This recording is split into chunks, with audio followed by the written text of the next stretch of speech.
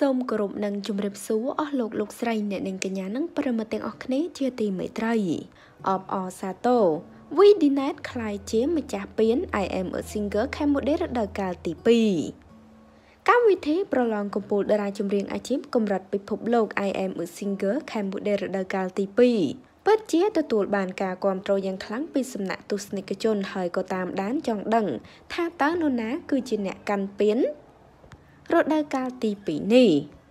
មកដល់រាត្រីថ្ងៃទី26ខែកញ្ញាឆ្នាំ2020នេះ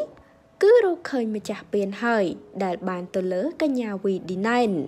ហើយក្នុងវគ្គផ្ដាច់ព្រាត់នោះផងដែរគឺតម្រូវឲ្យកម្ពុជាតារាចម្រៀងអាជីពទាំងអស់បកស្រាយនៅចម្រៀងម្នាក់ពីរបន់ដោយវគ្គទី1ត្រូវបកស្រាយបទចម្រៀងទល់ ឯជុំទី2ត្រូវបកស្រាយបទចម្រៀងរួមជាមួយនឹងតារាកិត្តិយសដោយនៅក្នុងនោះផងដែរ VD9 ក៏បានចាប់ឆ្នោតប៉ះចំលោកនីរតនាហើយក៏បានធ្វើការបកស្រាយបទចម្រៀងដែលមានចំណងជើងថាមហាឈឺដែលបទនេះម្ចាស់ដើមគឺលោកនីរតនា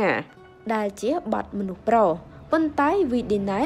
ពេលដែលច្រៀងទៅគឺ ពិតជាពិរោះស័កសមទៅនឹងម្ចាស់ពៀននេះខ្លាំងមែនទែនម្ចាស់ជ័យលីភីលេខ1ទទួលបានថវិកាចំនួន10000ដុល្លារពិតជាមិនធម្មតានោះទេចាអបអរសាទរកញ្ញា Vidinet ដែលទទួលបានពានរង្វាន់ I am a singer Cambodia រដូវកាលទី2នេះដែលបានធ្វើការប្រកួតយ៉ាងស្វិតស្វាញមែនទែនជាមួយនឹងតារាចម្រៀងអាជីពជាច្រើនដួង ឆ្លងកាត់ជាច្រើនសប្តាហ៍រហូតមកដល់ពេលនេះចាហើយតេតងនឹងព័ត៌មាននេះដែរក៏សូមបញ្ចប់តែត្រឹមនេះសូមចុច Subscribe និងរូបកណ្ដឹងដើម្បីទទួលបានព័ត៌មានថ្មីៗជាបន្តទៀតសូមអរគុណសូមគោរពលា